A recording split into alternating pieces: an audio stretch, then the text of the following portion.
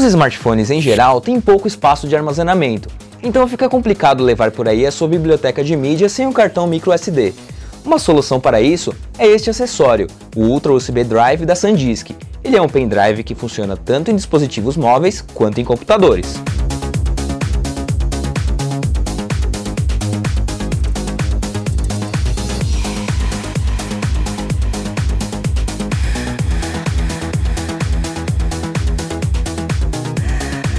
SanDisk Ultra USB Drive tem dois conectores, um micro USB e um USB normal.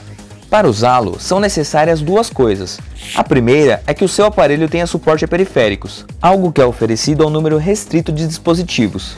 Para descobrir se seu aparelho tem suporte a periféricos, é preciso fazer uma pesquisa no site da fabricante.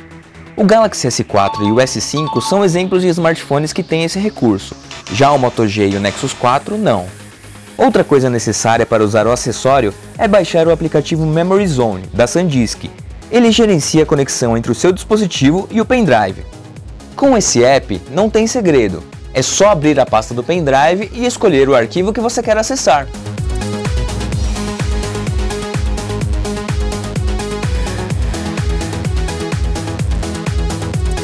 Além disso, há uma opção que permite integrar serviços de nuvem à memória geral gerenciada pelo Memory Zone, como por exemplo o Dropbox.